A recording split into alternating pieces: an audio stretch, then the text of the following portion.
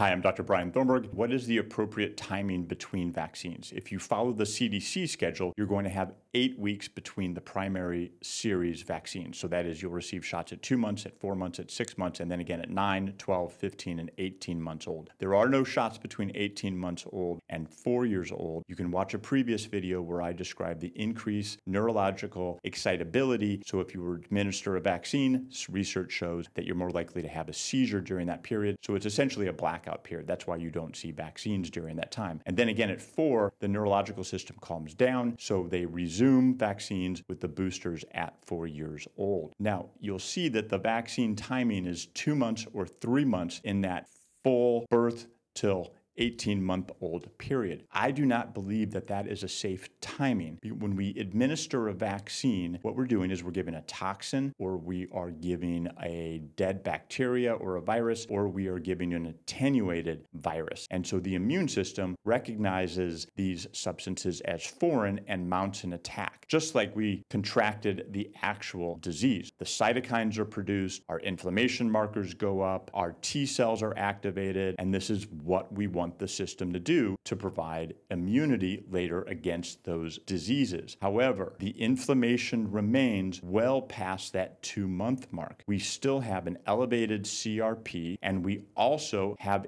increased levels of cytokines. And so we essentially have inflammation throughout our body while we are recovering from the previous vaccines. And before our body has a chance to fully recover from the previous vaccines, we're administering new vaccines. And so the body stays in a constant state of inflammation for those first 18 two years of life. That is not a good outcome because, as we have seen, children today have a much higher incidence of chronic disease compared to the past.